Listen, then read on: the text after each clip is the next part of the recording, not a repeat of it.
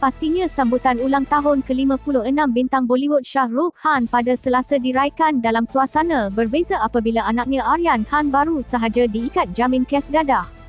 Pembebasan anaknya hampir sebulan ditahan di penjara menjadi perkara paling diraikan seisi keluarga. Seperti setiap tahun, peminat pelakon filem Kuch Kuch Hota hari ini mula berkumpul di luar kediamannya di Mumbai bagi menunjukkan kasih sayang mereka. Menurut laporan media, superstar ini meminta rakan-rakannya untuk tidak mengunjungi rumahnya pada hari jadinya bagi memberi ruang kepada Aryan. Sementara itu, dia juga dilaporkan belum membuat keputusan untuk meraihkan hari jadinya di kediamannya di Mumbai atau di rumah percutiannya di Alibaug. Setiap tahun, bintang terkenal itu akan bertemu peminat yang berkumpul di kediamannya dengan muncul di bahagian atas rumah untuk menyatakan rasa terima kasih kepada mereka.